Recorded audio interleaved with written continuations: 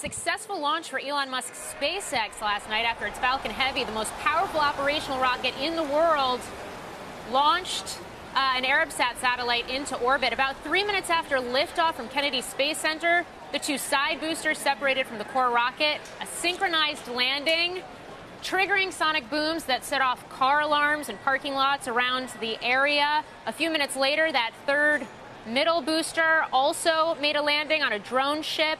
First time we've seen all three boosters recovered. Major engineering feat, but also key step in SpaceX's ongoing mission to reuse more of its space hardware, driving down costs and leading to greater profitability.